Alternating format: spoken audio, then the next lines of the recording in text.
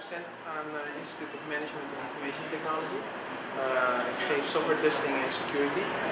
Um, waarom ik geloof dat ICT bij IMIT een, een goede keuze is, is omdat je hier de juiste balans vindt tussen de business en ICT. En er zijn mensen die zich thuis voelen in, op het gebied van bedrijfskunde, er zijn mensen die zich thuis voelen op het gebied van ICT. Maar je ontkomt er niet aan, ongeacht de sector, dat je beide nodig hebt. Bedrijfskunde en ICT.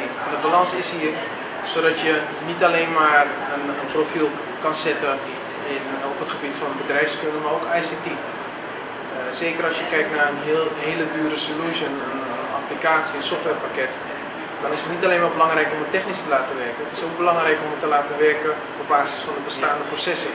En misschien moeten de bestaande processen wel geanalyseerd worden om verbeterd te worden voordat je je solution kan toepassen.